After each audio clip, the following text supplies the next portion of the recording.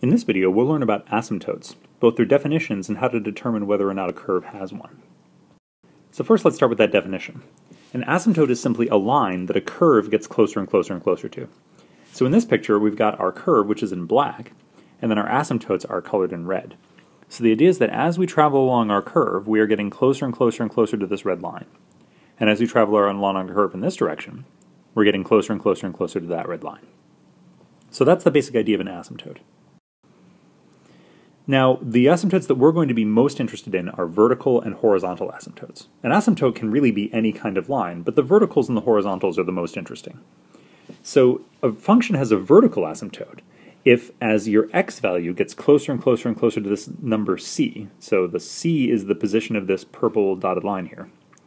So as x gets closer and closer and closer to that number, your function value is either getting really, really big, going off to infinity, or getting really, really big in the negative direction, and going off to negative infinity.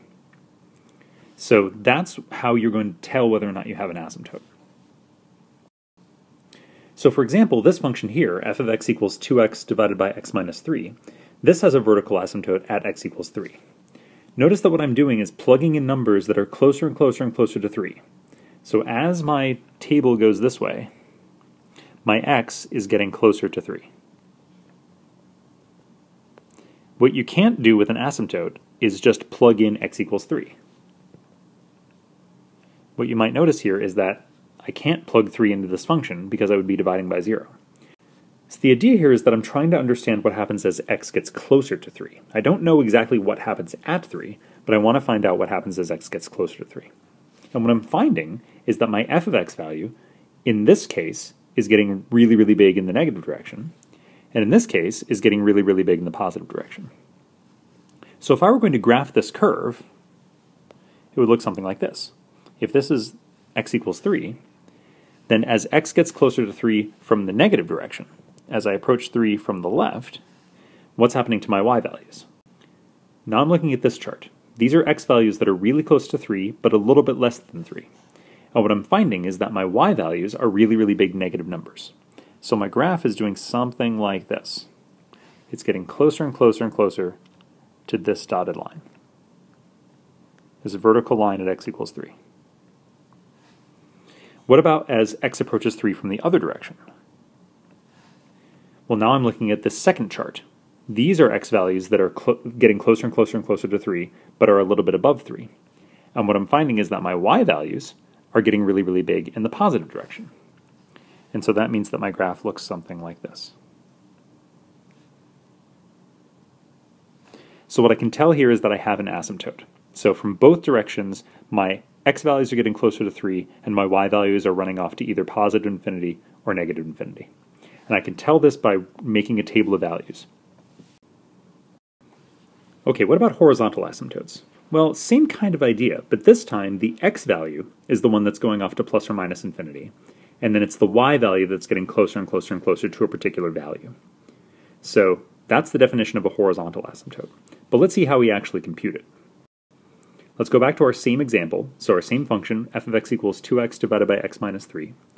Now, once again, I have two charts of information, but now as I go down my chart, my x value is getting bigger. So instead of getting closer and closer to some value, my x value is getting bigger and bigger and bigger, either positive or negative. So in this first chart, my x's are getting bigger and bigger and bigger in the negative direction.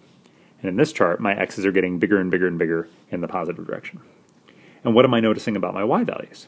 Well, for my y values in this chart, they're getting closer and closer and closer to 2, but a little bit lower than 2. So 1.94, 1.99, 1.999, and so on. Over here, as x gets towards positive infinity, my y values are getting closer to 2, but from above. So this tells me that my graph looks a little something like this. If I draw this dotted line y equals 2,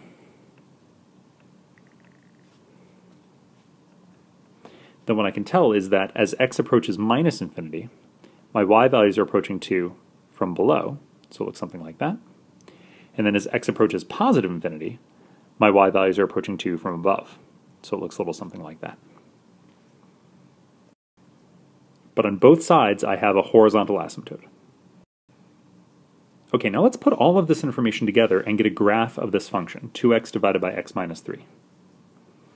So we know a lot about this function so far. We know that it has a vertical asymptote at x equals 3, and we also know that it has a horizontal asymptote at y equals 2.